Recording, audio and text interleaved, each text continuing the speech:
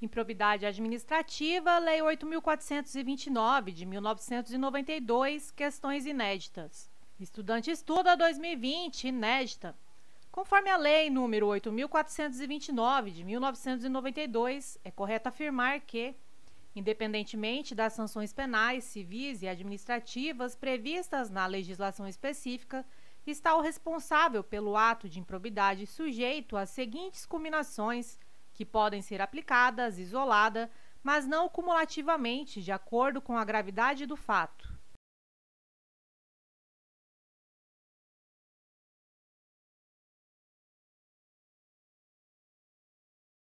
Item errado, Lei nº 8.429, de 1992, artigo 12. Independentemente das sanções penais, civis e administrativas previstas na legislação específica, está o responsável pelo ato de improbidade sujeito às seguintes combinações, que podem ser aplicadas isolada ou cumulativamente, de acordo com a gravidade do fato. Estudante estuda 2020, inédita.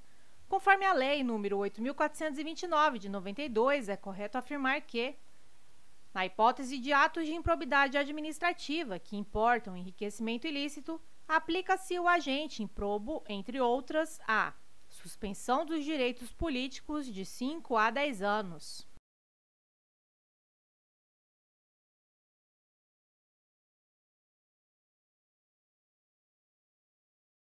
Item errado.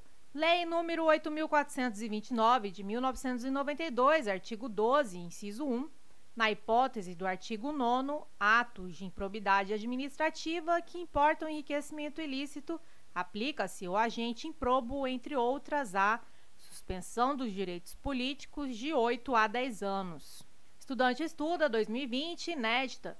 Conforme a Lei nº 8.429, de 92, é correto afirmar que, na hipótese de atos de improbidade administrativa que importam enriquecimento ilícito, aplica-se ao agente improbo, entre outras, a proibição de contratar com o poder público ou receber benefícios ou incentivos fiscais ou creditícios, direta ou indiretamente, ainda que por intermédio de pessoa jurídica, da qual seja sócio majoritário pelo prazo de 10 anos.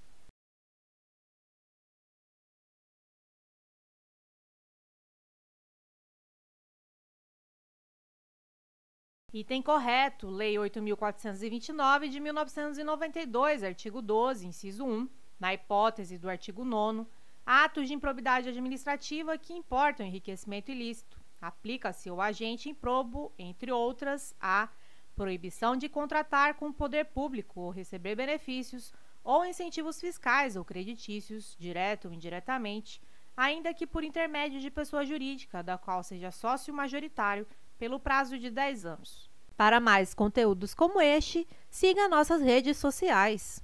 Se você está estudando para concursos e anda desmotivado sem materiais de qualidade, entre para a nossa comunidade no Telegram e receba materiais gratuitos, como mapas mentais, resumos e videoaulas exclusivas, além de muitas dicas para a sua preparação.